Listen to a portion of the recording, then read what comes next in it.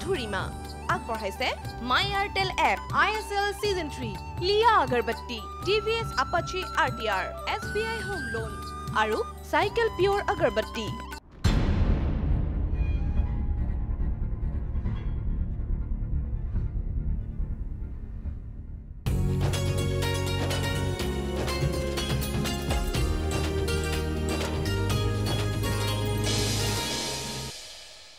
নমস্কাৰ মাধুৰিমা অনুষ্ঠানটিলৈ মই ৰেখাই আপোনালোক সকলোকে স্বাগতম জনাইছোঁ। প্ৰিয় দৰ্শক অনুষ্ঠানটিত আজি আমাৰ সৈতে আছে জ্যোতিষশাস্ত্ৰ বিশেষজ্ঞ ডক্টৰ অমিয় কুমাৰ ভট্টাচাৰ্য আৰু তেওঁৰ পৰা জ্যোতিষশাস্ত্ৰ সম্পৰ্কীয় যিকোনো পৰামৰ্শ আপোনালোকে আজি ল'ব পাৰিব। গতিকে দেৰি নকৰি সোনকালে আমালৈ ডায়েল কৰক। আমাৰ নম্বৰকেইটা আপোনাৰ টিভি স্ক্ৰীণত ফ্লেছ হৈ আছে।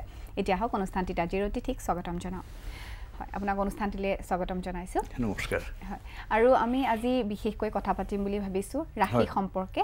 ৰাশি কিহৰ ওপৰত নিৰ্ধাৰণ কৰি কৰা হয় আৰু পশ্চিমীয়া শাস্ত্ৰ অনুসৰি ৰাশিৰ নিৰ্বাচন বেলেগ ধৰণৰ হয় মাহ লৈ পেলাই কৰা হয় আৰু আমাৰ ইয়াতে কিহৰ ওপৰত ভিত্তি কৰি পেলাই ৰাশি নিৰ্বাচন কৰা হয় সেয়া জানিবলৈ বিচাৰিম। হয়। আমি দেখিছোঁ যে পশ্চিমীয়া যিখিনি দেশ আছে সেই দেশখিনিত আমাৰ ইংৰাজী এটা মাহৰ আধাৰ পৰা আন এটা মাহৰ আধালৈকে সম্পূৰ্ণ এমাহ ধৰি পেলাই এটা ৰাশি বাহাল ৰাখে। যেনেকৈ এপ্ৰিল মে' এই দুইটা ফিফটিন ডেজ ফিফটিন ডেজ লগ লগাই পেলাই তেওঁলোকে মেঘ ৰাশি কৰে। কাৰণ সেইখিনি সময়ত সূৰ্যটো মেঘ ৰাশিত থাকে। বহাগ মাহ। গতিকে বহাগ মাহত মেঘ ৰাশি বহাগ মাহত যিমান মানুহ জন্মিছে চব মেঘ ৰাশি হ'ল। আমাৰ যিহেতুকে সকলোৱে জানে যে এষ্ট্ৰলজিখিনি হৈছে আমাৰ ইণ্ডিয়াৰ বস্তু। ইণ্ডিয়াৰ ভিতৰতো আমাৰ অসমৰ আছে এইটো নিজৰ সম্পত্তি। ইয়াত কি হয় আমাৰ এই যি এটা মাহত ত্ৰিছ দিন থাকে এই ত্ৰিছ দিনতেই এই বাৰটা ৰাশিয়ে ভোগ কৰিব। গতিকে ভোগ কৰিব লাগিলে আমাৰ কি হয় আঢ়ৈ দিন আঢ়ৈ দিনকৈ এটা ৰাশি হয়। গতিকে আমাৰ এমাহত বাৰটা ৰাশি থাকে আঢ়ৈ দিনৰ মূৰে মূৰে আমাৰ ৰাশিটো চেঞ্জ হয়। এইটো আমাৰ ইয়াতে ৰাশিগত হিচাপে বিচাৰ কৰা হয় যিটো পশ্চিমীয়া দেশবিলাকত নকৰে।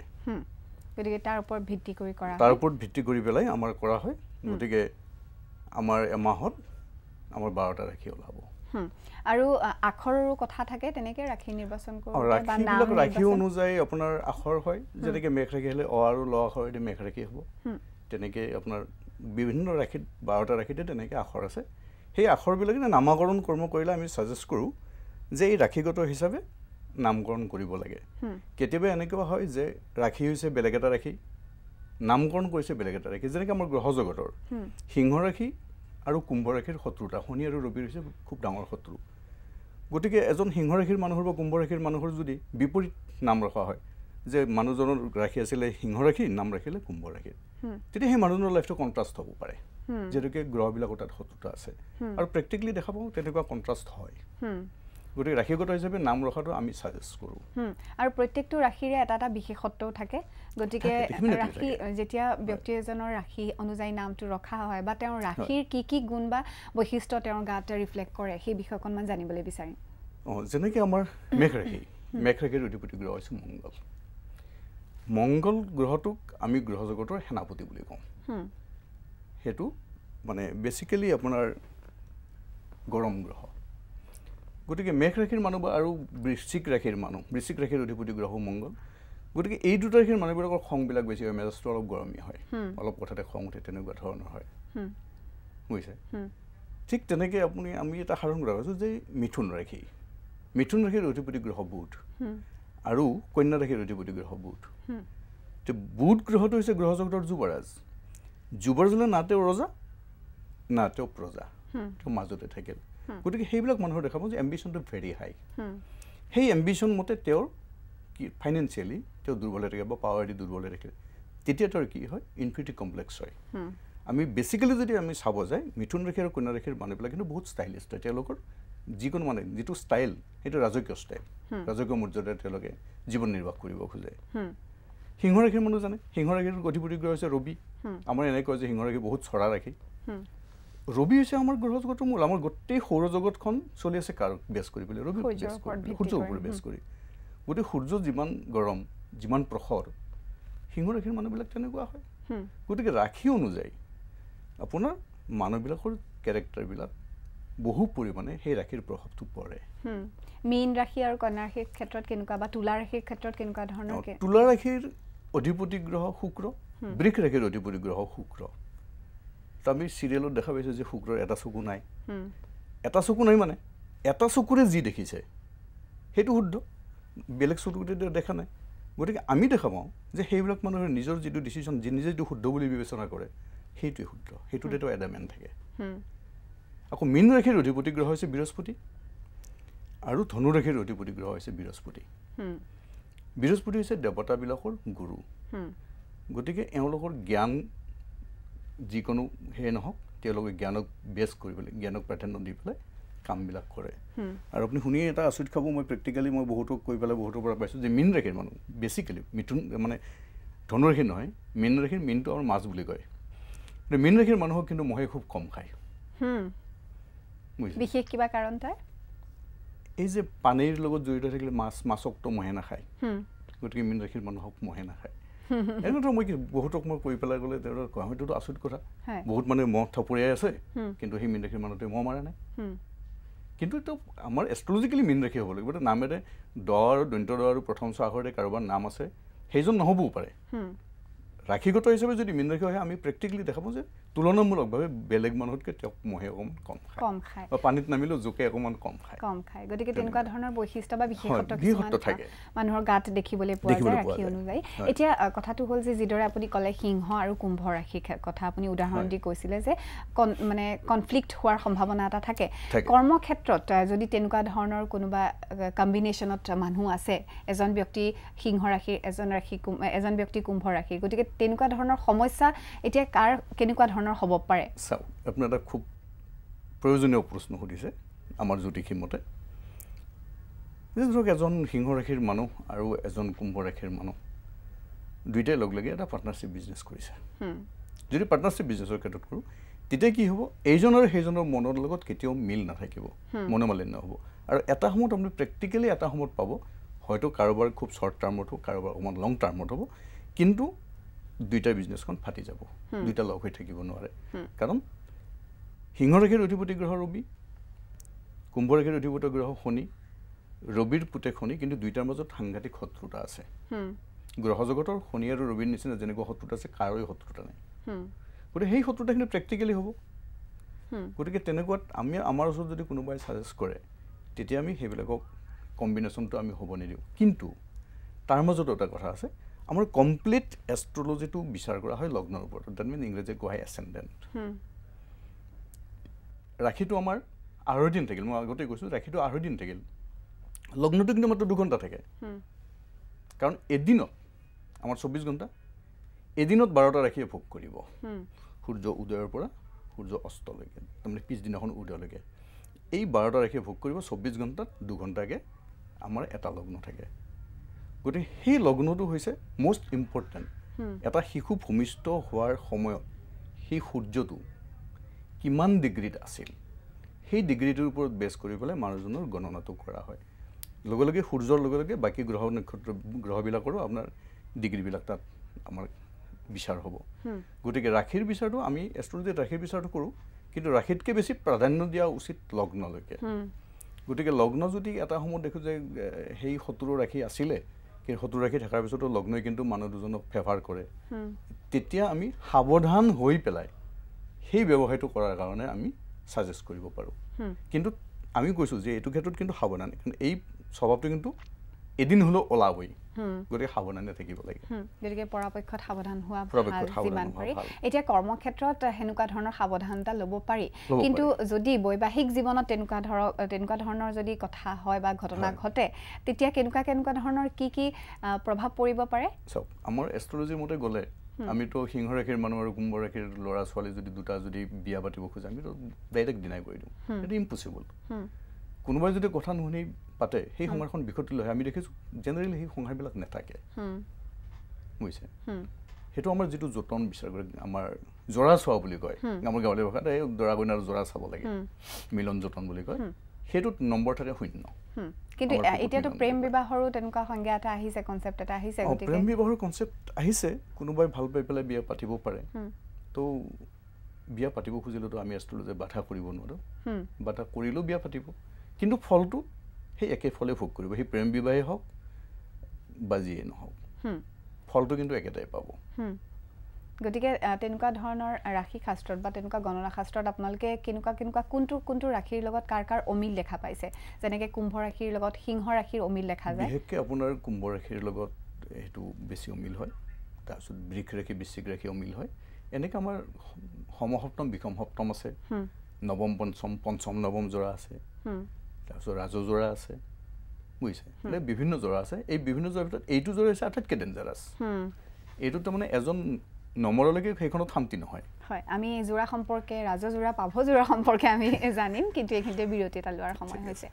প্ৰিয় দৰ্শক এইখিনিতে সময় হৈছে চবু বাণিজ্যিক বিৰতি বিৰতিৰ পিছতে পুনৰ উভতি আহিম আৰু জানিম জ্যোতিষশাস্ত্ৰ আৰু বহুতো কথা। আপোনালোকে চাই থাকক পাথৰিমা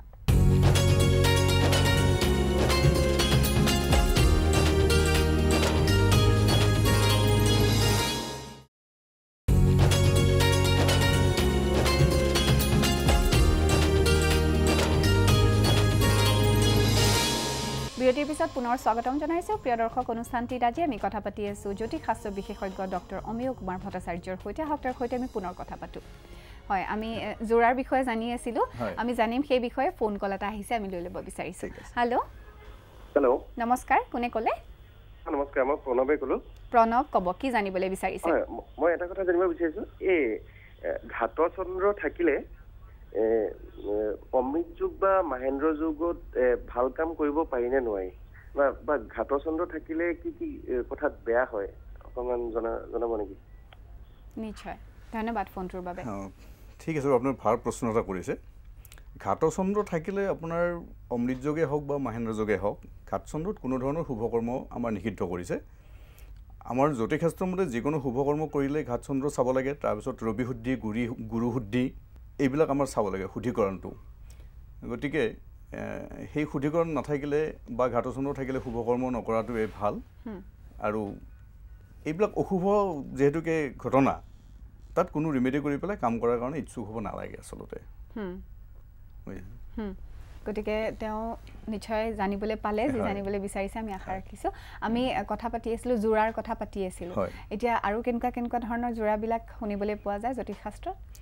যোৰাটো আমাৰ জেনেৰেলি ধৰক এটা ৰাজযোৰা এটা মধ্যম যোৰা এটা উত্তম যোৰা আৰু এটা বৰ্জনীয় যোৰা তো ৰাজযোৰাটো হৈছে তৃতীয় একাদশ চতুৰ্থ দশম এনেকৈ লগ্নৰ পৰা আমাৰ বিচাৰ কৰা হয় ৰাশিৰ পৰা বিচাৰ কৰা হয়। গতিকে ৰাজযোৰাটো হৈছে উত্তম যোৰা তাৰপিছত আপোনাৰ কি এইটো ৰাজযোৰাই তাৰপিছত আৰু উত্তম যোৰা আছে মধ্যম যোৰা আছে। আৰু বৰ্জনীয় যোৰাটো ক'লোঁ যে এই সিংহ কুম্ভ বৰ্জন কৰিব লাগে এনেকুৱা ধৰণৰ এইটো বৰ্জনীয় যোৰা কিন্তু যদি আপুনি মোক যোৰা চোৱাৰ বিষয়ে সুধিব খোজে এই যোৰা চোৱাত আমি তাতে আমাৰ কিছুমান বিষয় আছে। যেনে জনি বৈশ্য ফকুত এনেকৈ আমাৰ কেইটামান বিষয় আছে। সেই বিষয় বিষয়বিলাকত গুণ আছে তাৰমানে নম্বৰ আছে। সেই নম্বৰ আছে ছয়ত্ৰিছ নম্বৰ ট'টেল ছয়ত্ৰিছ নম্বৰৰ ভিতৰত আপোনাৰ মিনিমাম ওঠৰ পাব লাগিব। ওঠৰৰ তলত যদি হয় তেতিয়াহ'লে সেই বিয়াখন আমি এলাও নকৰোঁ। গতিকে ওঠৰৰ ওপৰত হ'ব লাগে। কিন্তু সেই জোৰা চাওঁতে আমাৰ বহুত কথা থাকে। জোৰাৰ আটাইতকৈ ইম্পৰ্টেণ্ট বুলি মই ভাবোঁ জনে বিচাৰ মানে ছেক্স কাৰণ মেৰেজ মেটাৰটো হৈছে ফুল্লি ছেক্সুৱেল মেটাৰ তো তাত যদি জনি বৈৰিতা হয় যে অহি আৰু নকুল সাপ আৰু নেউল সাপ আৰু নেউলৰ সদায় কাজিয়া। যদি ল'ৰা আৰু ছোৱালী তাৰমানে দৰা আৰু কইনাৰ যদি সাপ আৰু নেউলৰ জনী হয় তেতিয়াহ'লে সেইখন কেতিয়াও সুখৰ নহয়। গতিকে সেইটোক আমি বেছি প্ৰাধান্য দিব লাগে। তাৰপিছত ভকুত মিলন যিটো ৰাখি ৰাখি যিটো মই অলপ আগতে ক'লোঁ যে এইটো বৰ্জনীয় যোৰা তাত যদি নম্বৰ নাথাকে সেইটো আমি বাদ দিব লাগে। আকৌ নাৰী বিচাৰ এটা আছে আদ্য নাৰী মধ্য নাৰী এনেকৈ নাৰী বিচাৰ আছে। যদি আদ্য নাৰী আদ্য নাৰী একেটা নাৰীতে যদি দৰা কইনা দুয়োটাৰে হয় তেতিয়াহ'লে আমাৰ বিবাহ বৰ্জনীয়। কিন্তু তাৰে মাজেদি আজিকালি বহুত মানুহে কিছুমান কথা নমনা হৈছে বা আপুনি অলপ আগতে কৈছে যে প্ৰেম বিবাহ লাভ মেৰেজৰ ক্ষেত্ৰত এইবিলাক একো নাচায়। নাচালেও আমাৰ জ্যোতিষশাস্ত্ৰ মতে বিবাহৰ ক্ষেত্ৰত আমাৰ মষ্ট ইম্পৰ্টেণ্ট বস্তু হৈছে মাংগলিক যুগ। এতিয়া আমাৰ বহুতে ভাবে এনেকৈ যে মাংগলিক যুগৰ ছোৱালী হ'লে বিয়া কৰাব নালাগে। মাংগলিক যুগ ল'ৰা হ'লে? হুম, তেওঁ কি মাংগলিক যুগটো ফলভোগ নকৰিব নেকি। হয়নে? সকলোৰে কাৰণে প্ৰযোজ্য নিশ্চয়। ডেফিনেটলি যদি মাংগলিক যুগৰ ছোৱালীজনীৰ কাৰণে তেওঁৰ গিৰেক মৰাৰ কাৰণে যদি এটা হেৰি থাকে যোগ বুলি আমি যদি কওঁ ল'ৰাজনৰ ক্ষেত্ৰতো তিৰোতাজনী মৰা যোগ। হুম, গতিকে মাংগলিক যোগটো মংগল গ্ৰহৰ যিটো হেৰি আছে মাংগলিক যোগটো এইটো খুব ভালকৈ বিবেচনা কৰাটো উচিত। কাৰণ এইটো এটা নিগেটিভ পইণ্ট কিন্তু যদি ল'ৰা আৰু ছোৱালী তাৰমানে দৰা কইনা উভয়তো যদি মাংগলিক হয় তেতিয়া আকৌ সেইখন বিয়া পাতিব পাৰি। কাৰণ আমাৰ এইটোতো জানে আপোনালোকে এষ্ট্ৰলজি যিটো ফুল্লি মেথমেটিক্স গোটেই মেথমেটিক্সত ফৰ্মুলা এটা আছে মাইনাছে মাইনাছে প্লাছ প্লাছে প্লাছে প্লাছ প্লাছে মাইনাছে মাইনাছ আৰু মাইনাছে মাইনাছে প্লাছ গতিকে এটা মাংগলিক যোগ থাকিলে আনটো মাংগলিক যোগ হ'ল মাইনাছে মাইনাছে প্লাছ হ'ল। এটা মাংগলিক থাকিলে এটা মাংগলিক নহয় তেতিয়াহ'লে প্লাছে মাইনাছে মাইনাছ হ'ল। আৰু দুইটাই মাংগলিক নহয় তেতিয়া প্লাছে প্লাছে প্লাছ হ'ল। গতিকে জৰা চোৱাৰ ক্ষেত্ৰত এই বস্তুটোৰ ওপৰত বহুত গুৰুত্ব দিব লাগে। তাৰপিছত আন এটা আমি গুৰুত্ব দিওঁ। কাৰণ বিয়াখন পতাৰ পিছত কাৰণ মানুহে আমাৰ হিন্দু শাস্ত্ৰমতে বিয়া জীৱনত এবাৰেই পতা হয়। গতিকে বিয়াৰ ক্ষেত্ৰত যদি আমাৰ সংসাৰখন সুখকৰ নহয় তেতিয়াহ'লে বৰ বেয়া লাগে। আৰু সংসাৰখন সুখকৰ হিচাপে ৰাখিব লাগিলে আপোনাৰ পুৰুষজনেৰে হওক বা তিৰোতাজনেৰে হওক মানুহৰ আপুৰুগীয়া সম্পত্তি হৈছে নিজৰ চৰিত্ৰটো। পুৰুষজন বা স্বামী বা স্ত্ৰী যদি কোনোবা এটাৰ যদি চাৰিত্ৰিক দোষ যদি থাকে তেতিয়াও সেই সংসাৰখন বহুত বিষময় হৈ উঠে। গতিকে আমাৰ জ্যোতিষশাস্ত্ৰত তেনেকুৱা কিছুমান পজিশ্যন আছে। যি পজিশ্যনত ছোৱালীজনী বা ল'ৰাজনৰ যদি তেনেকুৱা পজিশ্যনত গ্ৰহ থাকে যেনে সপ্তমত শুক্ৰ। সপ্তমত শুক্ৰ থাকিলে তেতিয়াহ'লে একাধিক বিপৰীত লিংগৰ মানুহৰ লগত তেওঁৰ সম্পৰ্ক থাকে। মানে তিৰোতা তিৰোতা হ'লে পৰপুৰুষ আৰু মতা মানুহ হ'লে পৰনাৰী। এইটো এটা চৰিত্ৰৰ কথা। সেনেকুৱা যদি হয় তেতিয়াহ'লে কিন্তু সেই সংসাৰখন বিষময় হৈ উঠে।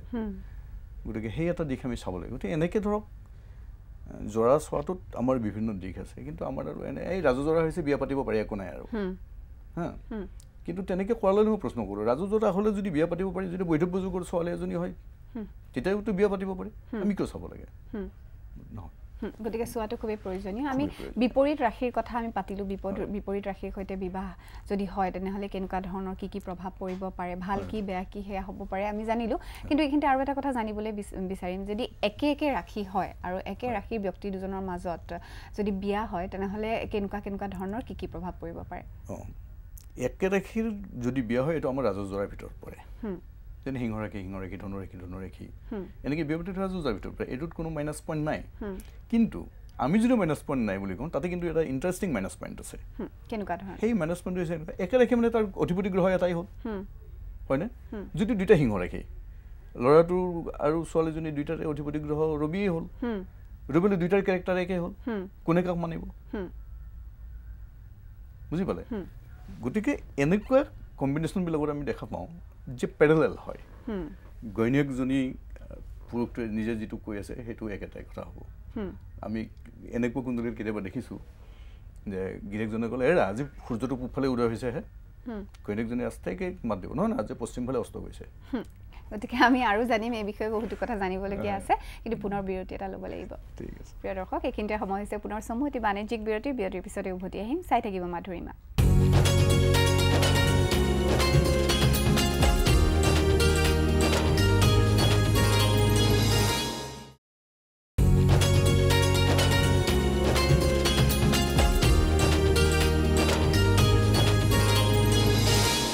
বিৰতিৰ পিছত মাধুৰীমাৰ শেষ অংশলৈ আপোনালোকক স্বাগতম জনাইছোঁ। অনুষ্ঠানটিত আজি আমি কথা পাতি আছোঁ জ্যোতিষ শাস্ত্ৰৰ বিশেষজ্ঞ ডক্টৰ অমীয় কুমাৰ ভট্টাচাৰ্যৰ সৈতে। আহক তেওঁৰ সৈতে আমি পুনৰ কথা পাতোঁ।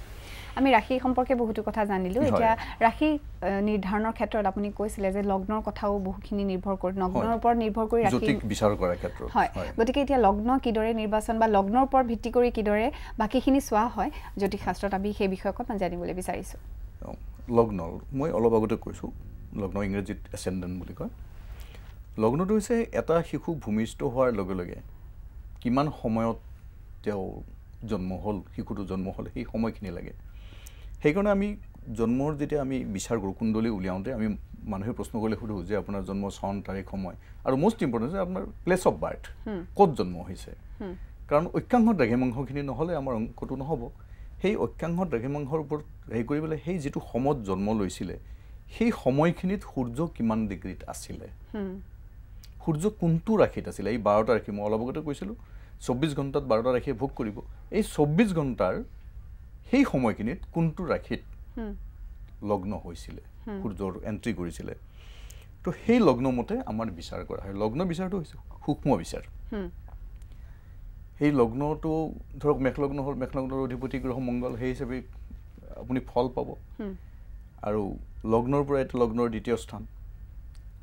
ধনস্থান লগ্নৰ তৃতীয় স্থান ভাতৃস্থান লগ্নৰ চতুৰ্থ স্থান বন্ধু বা গৃহসুখ লগ্নৰ পঞ্চম স্থান প্ৰেম প্ৰণয় টকা পইচা ইত্যাদি লগ্নৰ ষষ্ঠ স্থান শত্ৰু স্থান বেমাৰ আজাৰ লগ্নৰ সপ্তম স্থান বিবাহিত জীৱন পত্নী প্ৰতিষ্ঠান বুলি কয় লগ্নৰ অষ্টম স্থান মৃত্যুস্থান নৱম স্থানটো হৈছে ভাগ্যস্থান দশম স্থানটো হৈছে কৰ্মস্থান একাদশ স্থানটো হৈছে আয় স্থান দ্বাদশ স্থানটো হৈছে বয় স্থান। গতিকে এই বাৰটা ছাবজেক্ট বাৰটা ছাবজেক্ট আমি বাৰটা স্থান হিচাপে আমি ইয়াত বিচাৰ কৰোঁ। বুজিলে? গতিকে লগ্নটোত ইয়াত দৰকাৰ আছে কাৰণ সেই জন্মৰ সময়খিনি যিটো আমাৰ মানুহক ক্ষণ কয় এটা ক্ষণ এটা ক্ষণ মানে এটা ছেকেণ্ড। এটা ছেকেণ্ডৰ ভেলু কিমান? আপোনাক যদি সোধা হয় কোনোবাই যদি সোধে যে এটা ছেকেণ্ডৰ মূল্য কিমান? কোনোবাই ক'ব পাৰে যে এটা ছেকেণ্ডৰ মূল্য একো নাই। কিন্তু এটা ছেকেণ্ডৰ কাৰণে মানুহ এজন বাচি যায় এটা ছেকেণ্ডৰ কাৰণে কিন্তু মানুহ এজন মৰি যায়। হুম। প্ৰিয় দৰ্শক এয়া আছিলে আমাৰ আজিৰ অতিথি। তেওঁৰ পৰা জ্যোতিষশাস্ত্ৰ সম্পৰ্কে বহুতো কথা আপোনালোকে জানিবলৈ পালে বুলি আশা ৰাখিছোঁ। পিছে অনুষ্ঠানটিৰ পৰা আজিলৈ বিদায় লোৱাৰ সময় হৈ গ'ল। মই ৰেখা আজিলৈ এইখিনিতে সামৰণি মাৰিছোঁ। ধন্যবাদ। মাধুৰিমা আগবঢ়ালে my Airtel app I S L season three লিয়া agarbatti T V S Apache R T R S B I home loan আৰু চাইকেল পিয়ৰ আগৰবত্তি